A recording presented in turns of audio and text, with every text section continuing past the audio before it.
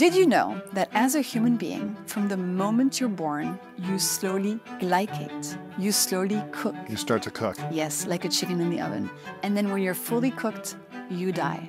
I know it sounds crazy, but it is true. And on the inside, you're actually browning. Huh. So if you look at the cartilage of a baby, it's white. If you look at the cartilage of somebody who's 100 years old, it's brown. It's been glycated. Glycation is cooking and it's aging. Now, why am I telling you this? Because every time you have a glucose spike, it accelerates glycation. Glucose causes this cooking, causes this glycation, causes this aging. So the more glucose spikes you have, the faster you age.